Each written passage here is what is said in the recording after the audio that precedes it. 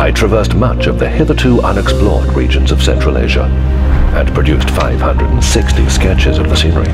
The sun was now descending fast, tinging everything with a golden hue, while the mountains were almost lost in misty blue.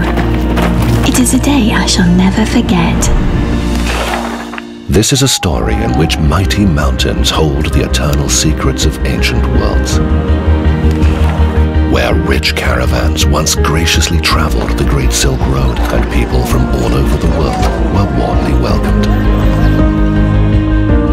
This true story is brought to life by two British explorers, Thomas and Lucy Atkinson. A story of love and courage, of sunsets and sunrises such as had never before been seen. In this tale, music plays a greater part than words, where beauty is truth and reality is beautiful. A saga that tells of six years in Kazakhstan.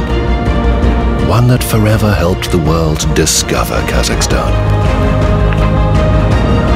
A land of unrivaled beauty and for centuries journeyed upon and through by ancient nomads.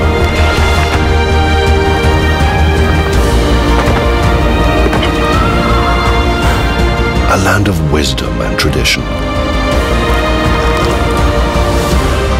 Kazakhstan, a nation in constant motion.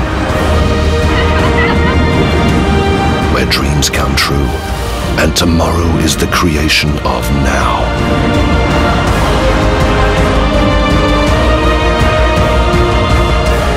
Kazakhstan, the heart of Eurasia.